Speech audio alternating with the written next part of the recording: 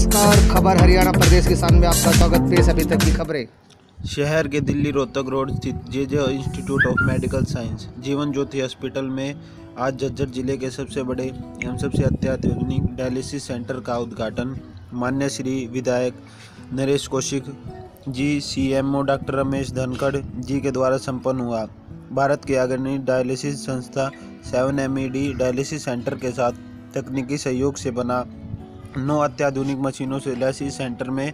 सबसे बेहतरीन machine water treatment plan, ultrasonic dialyser, cleaner एवं अनुभवी टेक्नीशियन और किडनी स्पेशलिस्ट की देखरेख की सुविधा है। साथ ही दो मशीनों को अलग से हेपेटाइटिस बी एवं एच आई वी एड्स से पीड़ित मरीजों के लिए तैयार रखा जाएगा।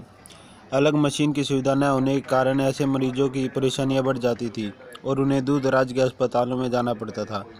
उद्घाटन कार्यक्रम में शिरकत करते हुए विधायक श्री नरेश कौशिक जी ने जीवन ज्योति अस्पताल के इस कदम की प्रशंसा की और बधाई संदेश में स्थानीय नागरिकों की सुविधा को ध्यान में रखते हुए और भी ज़्यादा सुविधाएँ इस क्षेत्र में शुरू करने की गुजारिश की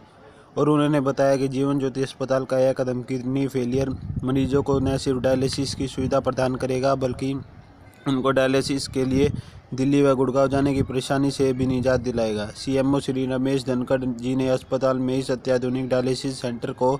मील का पत्थर बताया व कहा कि झज्जर ज़िले में अत्याधुनिक डायलिसिस सेंटर का खुलना निश्चित रूप से गौरव की बात है। जीवन ज्योति अस्पताल के निदेशक दीपक खट्टर एवं डॉक्टर ज्योति मलिक ने आते, मालिक ने आए हुए अतिथियों का स्वागत एवं धन्यवाद किया